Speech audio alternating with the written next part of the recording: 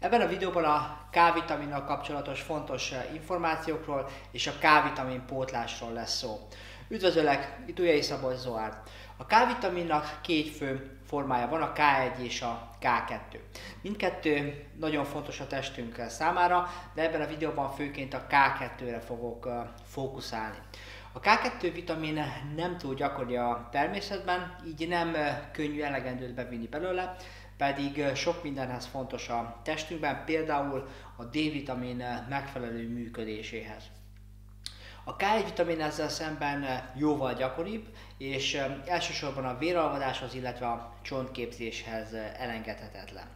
De visszatérve a K2-re, azért van sok embernek K2 vitamin hiánya, és esetleg ezzel összefüggő kálcium és D-vitamin problémája is, mert a K2 szintje az ételekben rendkívüli módon függ az adott étel előállításától.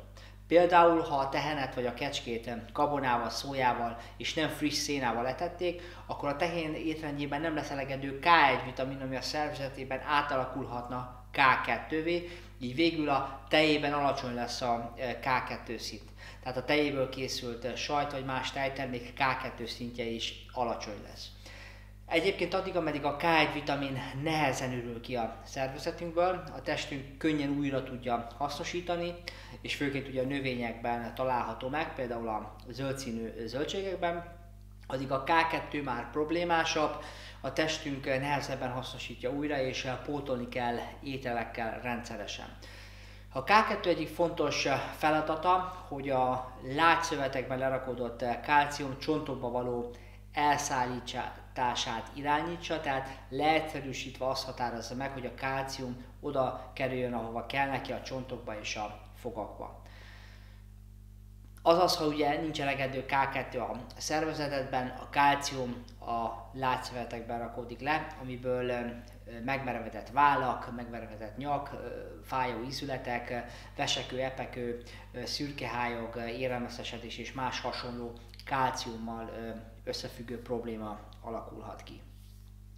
Idősebb korban gyakoriak ugye a megmerevedett végtagok, a megmerevedett nyak, ez is egyértelműen a K2 hiányára utal.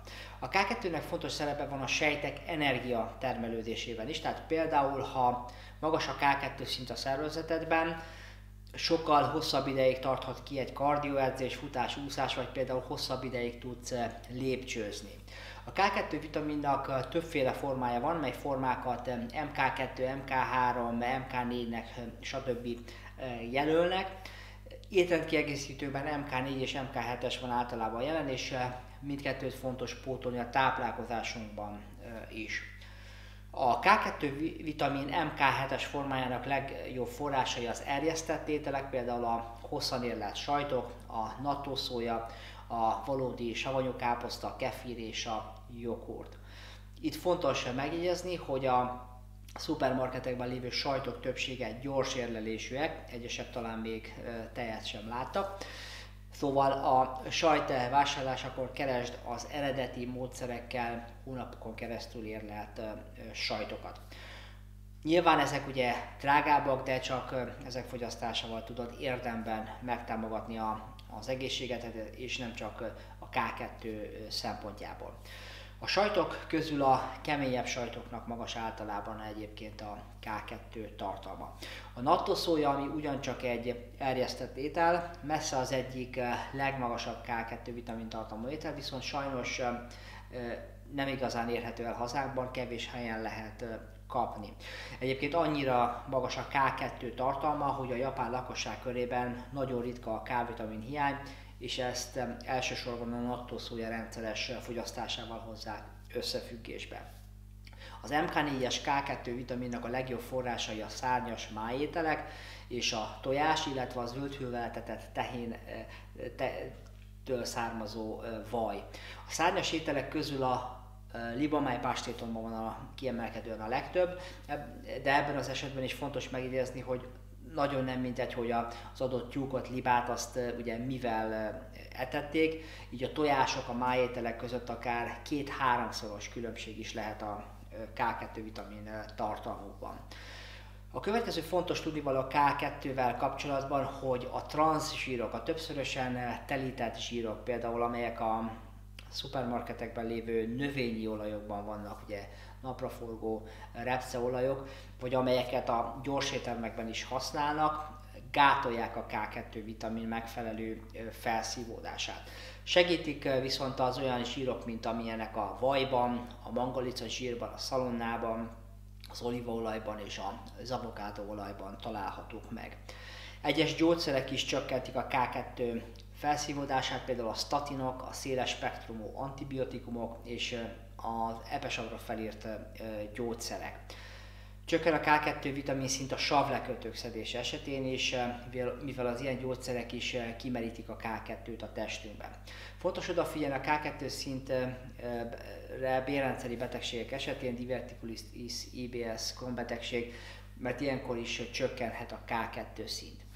A következő lényeges info a K-vitaminnal kapcsolatban, hogyha D-vitamint pótolunk, mindig kell mellé K2 vitamint is szedni, vagy bevinni ételekkel, mert különben, ahogy az elején említettem, a kálcium a látszövetekbe rakódik le, és nem a rendeltetési helyére a csontokba. De nagyjából ugyanez a helyzet akkor is, ha kálciumtartalmú étrendkiegészítőt szedünk, amit én nem ajánlok, mert a kálcium többsége a különböző készítményekben szervetlen formában van, amit a testünk sokkal nehezebben tud hasznosítani, mint ugye azt a kálciumot, ami az élő ételekben van. Tehát nagyobb az esélye, hogy rossz helyre rakódjon le a testünkben. És ide tartozik a K2 következő fontos szerepe az eddigieken túl, hogy védi a szervezetünket az elkálciumosodástól, azaz rendkívül fontos szív- és érrendszeri megbetegedések esetén, például ugye élelmeszesedésnél, hiszen ugye az élelmeszesedés az ugye nem más, mint kálcium lerakódás.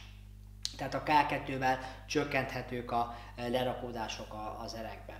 Ha K2 vitamin tartalmú készítményt szedsz, fontos odafigyelni néhány tényezőre. Először is a K-vitamin készítmény esetén inkább az MK7-es verziót keresd, és ne az MK4-est mert az MK7-es általában természetes forrásból van, míg az MK4-es általában szintetikusból származik.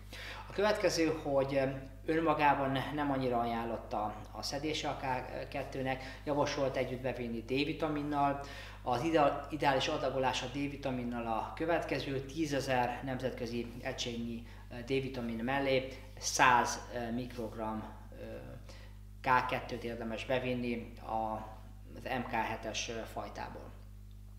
A harmadik fontos info a K2 vitamin és a T3 szedés esetén az a zsírbevitel, azaz vigyél be melléjük valamilyen zsírfélét is, szalonna, tojás, kókuszolaj, vaj, mert a zsírok nagyban megemelik a felszívódásokat, hiszen ugye zsírban oldódó vitaminok. A negyedik pedig, hogy reggel a legjobb bevinni őket, például azért, mert ugye reggel erősebb a, a gyomorsav, emiatt is ugye jobb lesz a felszívódásuk, illetve a szintetikus D-vitamin felszívódását segíti a bőrön keresztül termelődő természetes D-vitamin is, így ha ugye reggel viszed be a D-vitamin a nap során ugye a bőrödet éri a napfény, így termelődik természetes D-vitamin a testedben, míg ugye, hogyha este vinnéd be lefekvés előtt, akkor ugye nem. És végezetül a K2 vitamin hiányának a jeleit is megemlíteném, az élelmeszesedés, a magas vérnyomás, a csontritkulás, a vesekő, epekő, a fogszuvasodás, az IBS, az anyagcserezavarok és, és a vízszél is ide tartozik. Ha ezen tünetek közül több is jelen van nálad, nagy az esély rá, hogy alacsony a K2 vitamin szinted is. Bízom benne, hogy hasznosnak és érdekesnek találtad ezt a videót. Ha szeretnél hozzáfűzni még valamit a témához, ne fogd vissza magad, írd meg a hozzászólásokba, hogy mások is tudjanak róla. Ha még nem vagy feliratkozva, iratkozz fel a csatornára, mert így kapni fogsz értesítést a következő hasonló videókról. Köszönöm a figyelmed, találkozunk a következő videóban, addig is az egészség legyen veled!